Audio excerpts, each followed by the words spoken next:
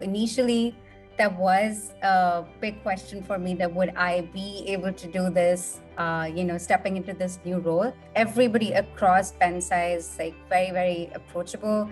If you have any questions or even if you just want to chat, like I haven't really, uh, you know, come across uh, any trouble in approaching people. So I think if I had to pick like the top reasons why I would want to be uh, in BenchSci, just being around such impressive, intelligent, fascinating people would definitely, uh, you know, be one of the top reasons.